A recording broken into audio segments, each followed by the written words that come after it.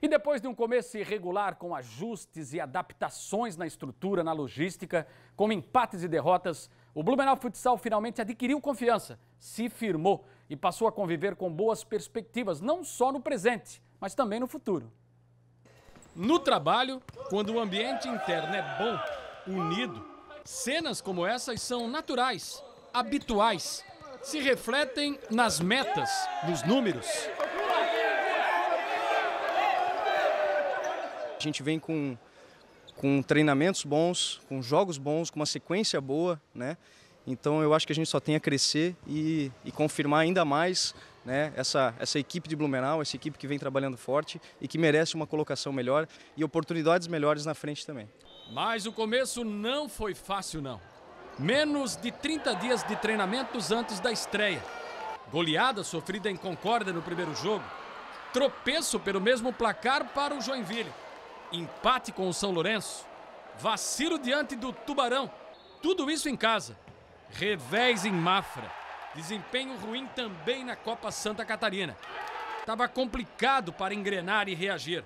Cinco derrotas, três empates, mais de dois meses de seca. É o nível né, que hoje o futsal está inserido, né, é, tanto na divisão especial como na Copa Santa Catarina. Né, alguns jogadores, né, como é semiprofissional, nós não treinamos os dois períodos. Né, alguns jogadores só jogando essas competições a nível local. Nós tivemos muita dificuldade, apesar de fazer bons jogos, né, o resultado demorou a, a vir. Né, e depois, com a, é, com a vinda de alguns jogadores, né, o time deu uma encorpada maior, a gente conseguiu competir melhor a falta de experiência, até atletas mais jovens, o time começando agora, o projeto é novo vive toda aquela ansiedade, aquele tudo. Mas o importante é que o time se achou agora no campeonato e estamos numa crescente, né? Viemos de bons jogos e buscando sempre o um resultado positivo. Com a minha chegada do Rafinha, a do Pica-Pau, deu uma encorpada nesse, nesse elenco aí que já era bom, mas agora com o trabalho feito pelo Xande, bem feito, a gente vive, vive um, um bom momento. Chegaram reforços, todos identificados com o time que ganhou em experiência, em qualidade e ufa. A primeira vitória, enfim, veio. 2 a 1 diante da Chapecoense no Galegão. A propósito, a presença do torcedor tem sido de uma ajuda excepcional. São mais de mil por partida, superior até na Liga Nacional. Para mim é algo maravilhoso, né? Eu que estou iniciando a carreira agora, ver o ginásio sempre cheio, sempre lotado, é um, motivação ainda maior, né? Para a gente que está começando, está iniciando agora, ver aquele público todo é algo gratificante. A torcida é um é um fator casa para nós, né? Eles eles jogam junto, apoiam, tá dando todo jogo aí mil 1.500 pessoas lá no ginásio. Isso aí é só uma motivação a mais para nós.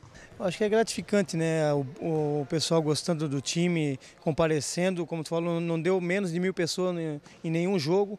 Acho que eles ajudam muito a gente, né? Eles participando, indo no jogo. Então a gente espera que seja dessa forma, eles continuem comparecendo, nos ajudando, que a gente precisa da torcida. Em 2014, aqui na Dering, o futsal blumenauense viveu um momento mágico casa sempre cheia, Liga Nacional e o quinto lugar na classificação geral. Já no ano seguinte a campanha não foi boa, o time foi eliminado na primeira fase. Existe projeto para a volta na Liga Nacional, talvez em 2019, mas no ginásio Sebastião Cruz. Tudo, no entanto, necessariamente passa pelo aumento da quadra oficial 40 por 20. O time joga lá hoje a divisão especial e a Copa Santa Catarina. O regulamento permite mas para disputar de novo a Liga, a quadra terá de ser aumentada. Existe projeto nesse sentido. É o foco, é um dos objetivos do Blumenau Futsal. O Blumenau precisa dessa quadra aí de 40 por 20, eu tenho certeza que vai vir na hora certa e a gente vai honrar muito com esse, com esse projeto aí, pode ter certeza. Meu sonho, que eu já falei para eles aqui, é jogar mais uma, duas ligas e eu gostaria que fosse ano que vem, mas a gente sabe que não, não depende só de nós, né? Mas eu, se for em 2019, com certeza, fisicamente, se eu estiver bem, eu quero estar aqui ajudando a equipe. Pra, pra eu, eu tenho esse sonho de jogar mais pelo menos umas duas Ligas Nacional. Hoje eu não vejo um outro lugar para nós jogarmos a Liga Nacional se não for o Galegão. Até pela mobilização do público, pela mobilização da cidade. E, né, e não ficaria só para o futsal. Isso, quem sabe, seja a grande essência do Blumenau Futsal. Mobilizar as equipes, né? Porque o, o handebol poderia jogar a Liga Nacional ali. Né? Então, esse seria a grande ideia para deixar como legado para a cidade de Blumenau. Né?